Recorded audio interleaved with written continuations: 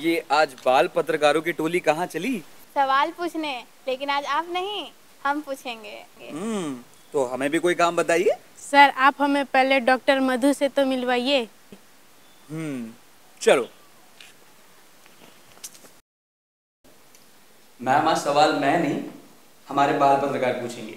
ये सूरज हैं और ये सुरभि। नमस्ते मैम। नमस्ते नमस्ते बहुत बहुत स्वागत।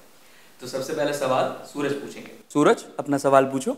मैम बच्चों के लिए यूनिसेफ क्या क्या कर रही है? यूनिसेफ बच्चों के लिए ही गठित हुई थी। तो यूनिसेफ जब सरकार के साथ मिलकर काम करती है स्वयंसेवी संस्थाओं के साथ मिलकर काम करती है तो अ, हम लोग बहुत सारे विभिन्न एरियाज़ में काम करते हैं। स्वास्थ्य पोषण पानी स्वच्छता बाल संरक्षण।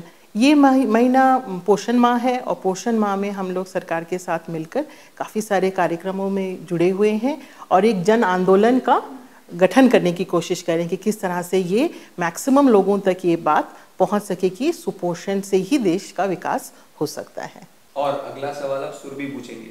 मैम हम सभी बच्चों को कैसे जागरूक करेंगे? जन आंदोलन में हर एक की एक रिस्पॉन्सिबिलिटी दी गई है।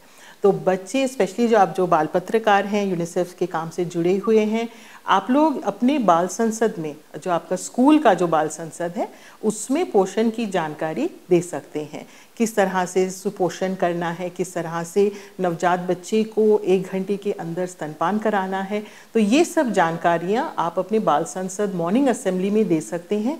और क्योंकि आप बाल पत्रकार हैं, आप इसके बारे में लिख भी सकते हैं, और इसके बारे में पोएम भी लिख सकते हैं, कोई नुक्कड़ नाटक भी कर सकते हैं तो बहुत तरह से आप बच्चे से जुड़ सकते हैं।